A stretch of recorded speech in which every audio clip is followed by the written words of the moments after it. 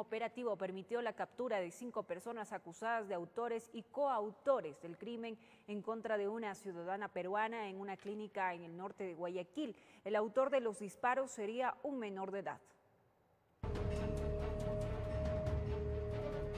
Fueron en total 13 allanamientos los que ejecutó la Policía Nacional en sectores como Florida, Portete, Pascuales, Guasmos y en los pabellones 8 y 9 del Centro de Privación de Libertad de Varones.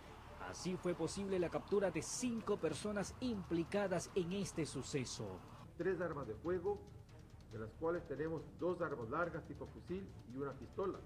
179 cartuchos de diferente calibre, 23 terminales móviles, un vehículo tipo taxi, un vehículo Kia y prendas policiales, ya que esta organización delictiva actuaba utilizando uniformes de similares características a la que utiliza la Policía Nacional.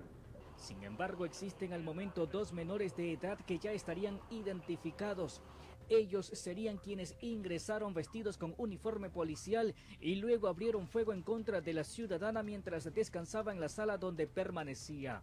La fiscalía reafirma la teoría inicial y asegura que se equivocaron de víctima y le cegaron la vida a una joven de nacionalidad peruana. Lo que hicieron es eh, disparar, a ir a, lo que tenían que ir y no se fijaron y no se percataron de que se encontraba otra persona. Las investigaciones se permitieron llegar hasta la penitenciaría. Allí se encontraban alias Palanqueta, quien sería la persona que ordenó el asesinato de Popeye.